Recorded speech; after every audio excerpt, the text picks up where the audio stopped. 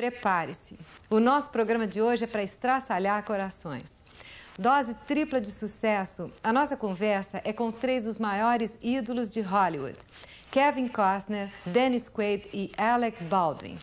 Eles são bonitos, talentosos e extraordinariamente bem-sucedidos. Para comemorar o terceiro ano de Gente de Expressão, três dos mais famosos heróis do cinema americano. Com vocês, Kevin Costner, Dennis Quaid e Alec Baldwin. Kevin, what a pleasure. Thanks. I think uh, with this movie, Wyatt Earp, uh, do you think you're bringing back that old style, old American style? I don't. I don't know. I, I'm a. I'm a fan of the kind of movies that are strong and they have strong storylines. And I think some of the movies maybe you're referring to, uh, some of the older movies had always really strong storylines and, and needed big, strong actors to do to do them. I don't know why I say that. I'm a big, strong actor. You know, I, I see myself as, as an actor, you know, and, and a, a storyteller. And I really like to share a good story. That's really what I like to do when someone knows a good joke. Yeah, They always sure. want to share the joke with Yeah. the first person they see. And I say, I have a, a great story. I'd love to share it. So when I hear a great story, I, I feel like that's what I do. I want to make I it told him. and very, be very careful with it. And do you think you are bringing back some values that maybe American are forgetting? I don't know. I don't try to do that on purpose hmm. Because it's not my job to teach anyone how to act. It's hard enough to know how to act your own life. Yes, well. So I can't be a teacher for, for anyone. But I know what I admire. Mm, which and, is? and I admire strength and I admire loyalty and I admire people who try to do the right thing regardless of politics. But at the same time, Wyatt Earp, there is a violence. I think it's a tradition in America. And, uh, you know, the things, uh, problems were solved with guns and fighting. And do you think uh, audience love violence in the movie? I don't know. I think they love justified violence. I mean, some people just like any kind of violence. I don't make movies for those kind of people. But all of us understand great love. All of us understand anger. All of us understand revenge. And the movies are caught up in those emotions. And um, we, we're a country that took our own country by force. So guns are very much a part of the American experience. We should take them out of our experience now, but they're very much unto us. There are they they settled the country. We we took the country away from people violently. We have great appetites, Americans. And like uh, Wyatt Earp, do you believe you have to be tough? You have to have belief in your life. You have to have ideas about things you will do and things that you won't do. And then you have to make up your mind what you're going to do when those ideas are challenged. Hmm. Do you bend do you or do you stand and say this is what I am. I don't change what I think. If you're my friend then you're my friend. If this is what I believe then I believe that no matter what other people tell me. You have to have a good head to think and to judge for yourself but you have to be consistent But the affable guy is killed. he is. I love that word. So, and I warned him. can, can you be a good heart and s- still survive in this world? in this world you can. In that world it was difficult. In this business, you can? in in this business you can. You don't have to be a killer. What you have to know is what you have to know what you believe and try to stand by it it might mean you won't work or you won't do some things but that's okay you know in your own mind if you can be true to yourself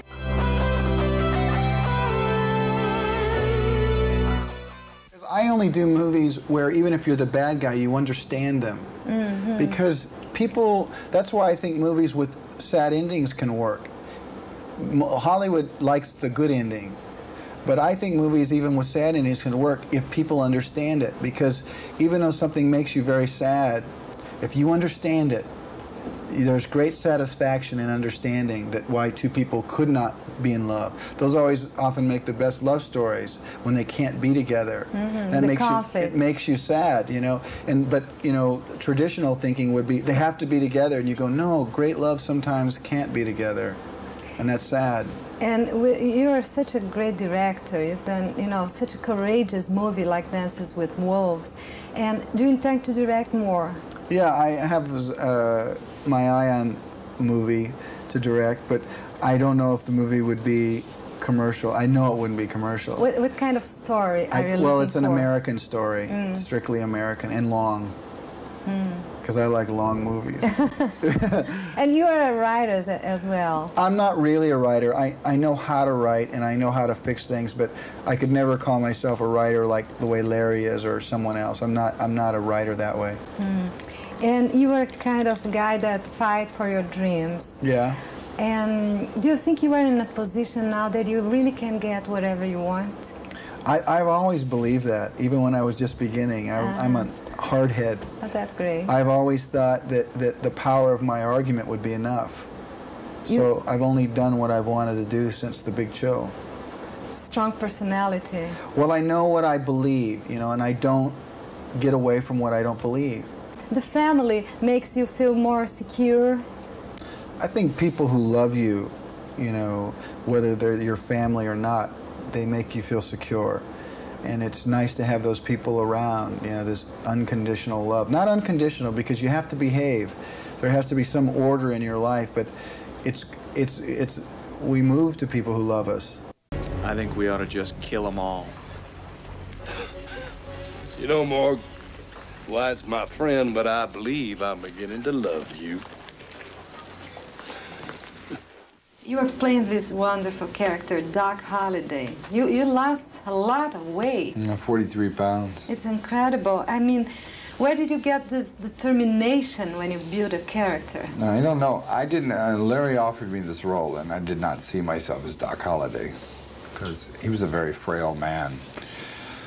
And uh, but to work with Larry Kasdan, I said yes. Everyone wants to work with Larry Kasdan, and uh, he asked me to lose 10 pounds for the part. But and you I have sort of strong- just kept going and kept going, and I felt it was necessary to get into the man's skin to to feel that way. You always do that. You, al- you go strong in your aim when you play a character, don't you? I'm obsessive compulsive. what I say. Yes. And uh, by the way, what kind of diet you've done? Well, I had 1,200 calories a day, and I'd run five to nine miles every day. And uh, so I was basically starving. But I had a doctor and a nutritionist. And And when you, you said you are obsessive, when you do a character, you take it home with you? no, I try to drop it at the set. Uh-huh. Live my life. It helps me to unplug so I can come back to the set fresh. And what was the inspiration to do this character? Well, it was. I saw the gunfight at OK Corral when I was a little boy, and I really loved Doc Holliday. I thought he was really cool. And when I got this part, I just uh, I uh, researched it as much as I could, and uh, I felt found Doc Holliday to. He was known as a gunslinger, a fighter, a very hardened man, but I found him to be a very gentle person who was forced to be that way because of his circumstances of his disease. For instance, he's a killer. You, you've done such different characters, and do you explore side, different sides of your own nature when you do?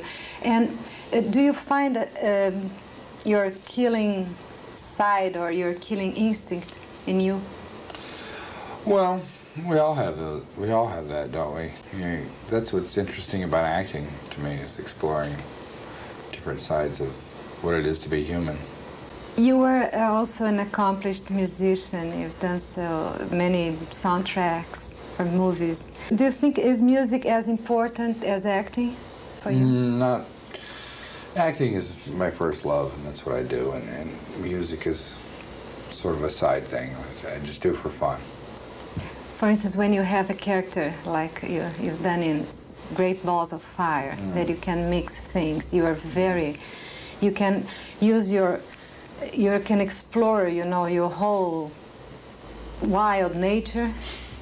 Well, that was Jerry Lee Lewis. That was uh, Yeah. another story altogether. Do you feel inside of you this wild thing? Well, no, not so much uh, anymore. That was really for that role, and uh, that was uh, I'm a family man now. I got a little boy. Uh huh. That's good. This is your side. Uh It's still there. It's just latent. That's all. Uh huh. And so, family man, you're married with Meg Ryan. And what, what is, in your opinion, uh, makes a relationship last? Laughter, more than anything else. You can make somebody laugh. uh, I think it keeps them around. And what, what is the most difficult thing in a relationship? The most difficult thing is uh, consistency, I guess. Keeping everything fresh. And how do you do this? Just try on a daily basis, I guess. It Takes effort. Is it hard when both are actors? No, it's not, not any harder than anybody else's relationship.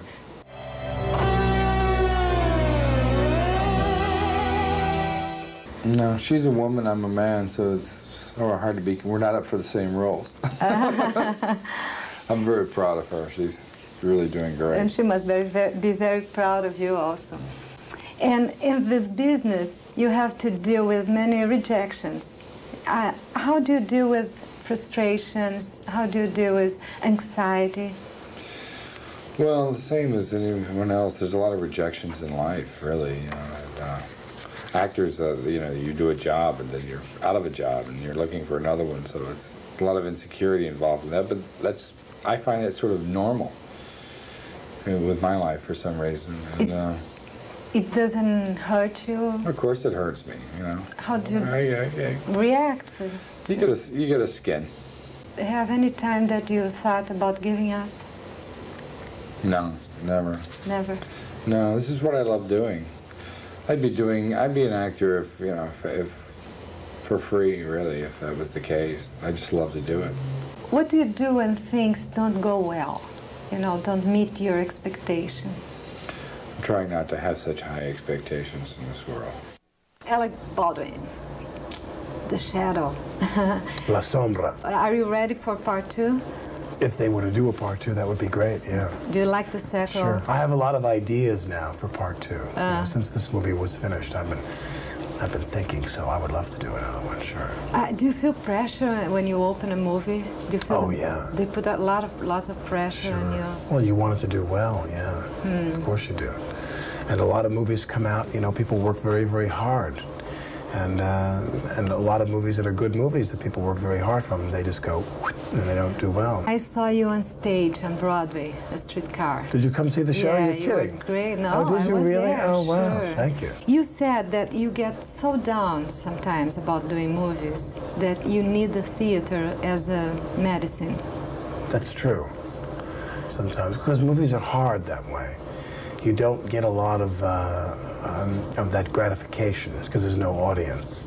And then if the movie doesn't do well, then today, mm, you know, it's uh, very uh, unforgiving when movies don't do well. When they don't do well, it's uh, it can be tough. You know. What kind of reaction do you feel?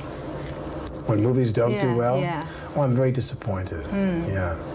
I mean, if there's a movie that you don't think it's going to do well, uh, then that's one thing. Or if there's a movie that you're not sure that maybe it could do well, then that's one thing. But if there's a movie you really believe in and you really think it's going to do well and it doesn't do well, You're it's the terrible. expectation. I did a movie one time. I, th- I thought it was going to be the greatest movie in the world. Ah. And uh, What- I did the movie Prelude to a Kiss with Meg Ryan Uh-huh. because I had done the play off Broadway. And I thought it was the most beautiful movie in the world. I thought it was just a beautiful story. I thought it was a great love story. I mean, I was rearranging things in my house to make room for, I was going to win an Oscar for this movie. I thought it was going to be the greatest movie in the world. And I thought we were all going to win an Oscar. And the movie just went. That's, that's what I did. I went, wow. it was over. What, what, what is the worst thing that you have to put up in this business? Being married to a famous woman. Oh, really? Married to a famous woman. this is the toughest thing? Well, only because Kim is such a lightning rod, you know, for people's attention. Because she's, uh, and when you go out in public, there's no mistaking who it is, no matter how many disguises she wears. I've been in New York City where I will walk down the street And I, I don't wear any sunglasses. I don't wear a hat. I just walk down the street. I say, this is my home. I live here. I'm not going to hide.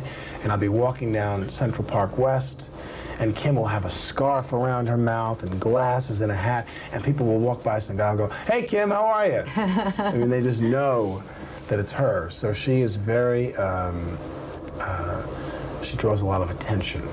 You are a very brave, very outspoken person. Do you have any difficulties because of this? Sure. of course. Sure. Um. I'm getting less so though. I'm, I'm, I'm getting cured of that. You know you have to, uh, you know, you, you can't be, uh, you, you, have to be able to afford certain virtues, I think, as time goes on. But uh, one thing that I don't do, though, is that I, I'm still very involved in some things that I'm involved with politically. You know, I mean, certain causes, you know mm -hmm. what I mean? Mm-hmm. Whether it's raising money for this kind of a charity or working on this certain kind of an issue. Censorship issues are very important to me here in the United States. Freedom of expression for artists and things like that. So I, uh, I, could, I don't think I could ever retreat from that. You are a very real person. All your interviews are uh, how do you keep your feet on the ground? I guess I just don't take the movie business very seriously. Because hmm. I think if you do, what if it all went away? I mean, you can be, I think some people, they it, it becomes like a, a drug for them, you know? And I understand that. I can see where that happens. I mean, periodically I'm the same way. Sometimes I become like I, I all I yeah all I want is, is, yeah success in the movies is what I want you know uh -huh. and uh, and if you get that that's great and if you don't you, I think that that's I think that that's great also you just have to learn to uh, to do the best you can. You said that it's difficult when you go out with Kim and wh what about when you work together you guys? Well, the last time that we worked together, it was a great pleasure. Um, the movie that I did with her uh, when we did the remake of The Getaway, uh, I uh, it was the best experience I've ever had making a movie. I would say that doing The Shadow was tied for the, being the best experience I've ever had making a movie mm -hmm. because uh, we were all making the same movie and everybody was really, really together and enjoying themselves because there's so many people involved in making a film that if if you're not all doing the same movie, it can be very difficult. I believe that, that love is a very powerful thing, and that um, uh, and, it, and it can be incredibly um, positive and negative. You know, love. It's a powerful, it's a powerful thing that's being moved around. I, I am a romantic. I'm a. I, I, I love great words. Words can move me. Music can move me. Mm -hmm. A great passage can move me. Mm. An image what, what do you want to reach now? Um, I, I would like um, to become who I'm supposed to become in my life. And, and um, that's just my own journey, you know, and maybe it doesn't involve movies. Maybe, maybe I am responsible for something else later. Besides the actor, are you a guy that work on your personality, on your skills, on your, you know, you're in inside of you? I try not to concentrate too much on myself because everybody concentrates so much on me that pretty soon all I think is me, me, me, me, me, me, me, me, me, you know. Um, but I would like, I would like to make sure that when my life's done, that I've done the things that I wanted to do and was capable of doing. I think you fulfill everything. Good, thanks. Thank you so much. Okay. I would say, yeah, I am ambitious. I try not to have such high expectations. That way I'm really wind up very pleasantly surprised or not so disappointed. What is your aim? What do you intend to reach now? Know, to live an authentic life, I guess. You want something uh, calm or, you know? Just an authentic life. Just, just, you know, to live my life day by day. Do you work in your spiritual side? Mm, yeah, sure do on a daily basis. Um, you have a special religion or? Well, I believe in it all, really. Everything. You Buddhism, Christianity, Hinduism, it's all the same. A mix of everything. Okay. So thank you very much, Dennis, Okay, man. for your Thank interview. much. Thank All you right. very much. What do you think uh, is the best thing that people love in you? God, I don't know. Um, I think uh, What does Kim love in you? she thinks I'm funny. She thinks I'm funny, and um, I, uh, I guess for an audience, I don't know. I guess the same for me as it is for a lot of people, that they believe you. That if, when you when you act in a film, I think the actors who are the most successful are ones that you believe them. They really commit. They really get in there, and they really give their heart and their soul to, to the to the to the movie and to the part. And I think people appreciate that. I think I think if there's anything people appreciate about me, as with other actors, is that I try hard. I give it all I've got. I hope to see you always try hard. Oh, good. Thank you very much for the interview. Thank you very much. Bye bye. You too. Thank you.